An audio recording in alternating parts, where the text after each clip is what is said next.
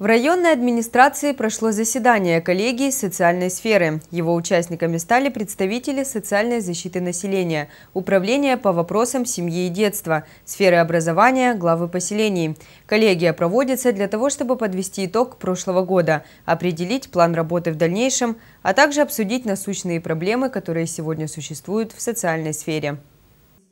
Открывая совещание, заместитель главы района по социальным вопросам Ольга Леус отметила, что одна из главных задач власти – это создание комфортной и безопасной жизни для славянцев.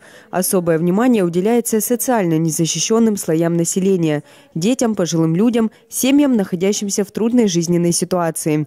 Помимо традиционных форм социальной поддержки, для этой категории граждан выделяются дополнительные средства из районной казны. В 2016 году почти полтора миллиона рублей выделили из муниципального бюджета на помощь и поддержку семьям, у которых ну, что-то в жизни произошло. Или пожар, или э, болезнь, или нужно было повезти ребенка на лечение далеко и так далее.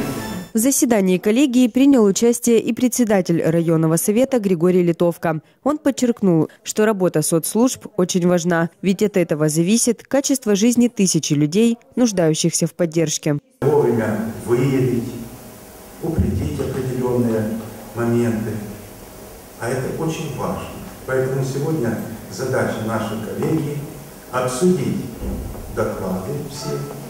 Я думаю, что их главы поселений, они на территориях на своей проблем массу знают. И сегодня хотелось бы, чтобы повзаимодействовать, чтобы у нас живое такое было общение. О том, какие меры социальной поддержки получили славянцы в прошлом году, рассказала начальник управления социальной защиты населения Славянского района Марина Соломатина. В 2016 году расходы на предоставление социальных пособий, льгот и компенсаций, государственной социальной помощи, субсидий на оплату жилищно-коммунальных услуг и других мер социальной поддержки составили более 588 миллионов рублей. Выплату получили 7060 ветеранов труда и военной службы, труженики тыла и жертвы политических репрессий. На осуществление названных выплат израсходовано 54 миллиона 538 тысяч рублей.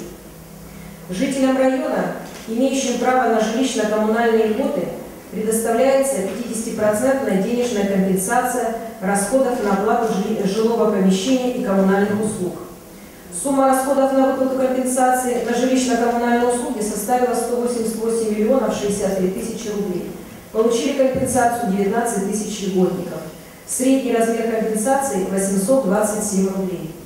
В рамках коллегии заслушали доклад об итогах работы управления по вопросам семьи и детства. В прошлом году более 100 детей усыновили. Под опекой находилось свыше 150, приемных – 55. Как отметила начальник управления Галина Курячая, в прошлом году произошло снижение количества детей-сирот.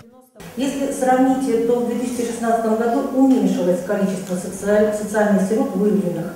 Их выявление в 2015 году составило 31 ребенок, в 2016 году выявлено 26 детей. Зато в прошлом году у нас есть для нас очень важные показатели, и результат – это увеличение количества родителей, восстановленных в родительских правах. В 2016 году 6 детей обрели кровную семью.